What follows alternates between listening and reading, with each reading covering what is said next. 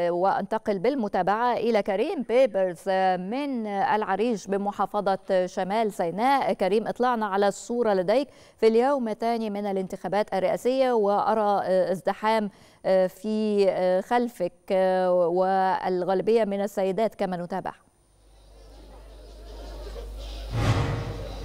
تحياتي لكم وتحياتي لجميع السادة المشاهدين. بالفعل يعني نحن اليوم الثاني وافتتحت اللجان أبوابها من التاسعة صباحا وحتى التاسعة مساء بالطبع تستمر هذه اللجان. ربما الميزة هذه المرة كما ذكرت هي إقبال السيدات هذا كان ظاهرا من الأمس برغم أن يعني محافظة شمال سيناء ويعني هذه الأماكن لها طبيعة خاصة بالقبائل وشيوخ القبائل والعواقل ربما دائما ما كان عندنا هذه الخلفية نوعا ما عن إخفاء المرأة وعدم ظهور المرأة بشكل كبير ولكن ربما هذه المرة الموضوع يختلف حيث أن الوعي يعني يشمل جميع الفئات من رجال من سيدات حتى من شباب شاركوا في هذه العملية التصويتية خصوصا أن النزول هذه المرة يأتي بعد فترة كبيرة من المعاناة لأهالي شمال سيناء وتضحيات الكبيرة لرجال الجيش والشرطة وأهالي شمال سيناء الذين ضحوا يعني بأرواحهم وبدمائهم من أجل الحفاظ على هذه الأراضي إما في الحروب التي مرت بها مصر أو حتى في الحرب على الارهاب خلال العشر سنوات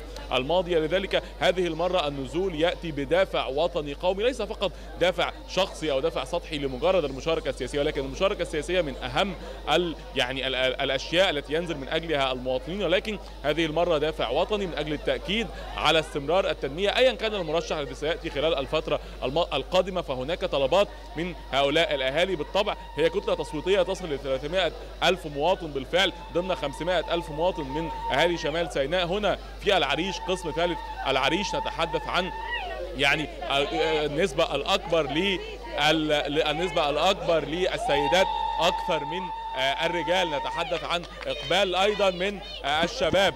يعني هذه ربما يعني هذه المظاهر دائما متواجدة أمام اللجان لا تتوقف على الإطلاق سواء في العريش هنا أو حتى في رفح والشيخ زويد. هناك يعني ربما يتحدث دائما المواطنين عن أنها جزء من الواجب الوطني. المشاركة السياسية هذه المرة في الانتخابات الرئاسية وتحدثت معهم حول طلباتهم خلال الفترة القادمة. كلهم يؤكدون على استمرار الأمن استمرار عملية التنمية المستدامة خلق فرص عمل جديدة. وهذه ضمن بالطبع خطة الدولة لتنمية شمال سيناء بشكل عام لأن جزء من محاربة الإرهاب هي التنمية المستدامة بشكل عام. أيضا يأتي يعني الأهالي رافعين أعلام مصر وهذا أيضا يدل على أنها فكرة وطنية قومية أكثر. هناك أيضا من تحدث معي حول يعني اختيارهم لمرشح معين فقط لأنه يعني يساعد أهالينا في الأشقاء في فلسطين. كان هذا حديثهم بشكل مباشر عن أن هؤلاء يعني الناس جاءوا ليرشحوا هذا الشخص فقط لأنه يساعد الأهالي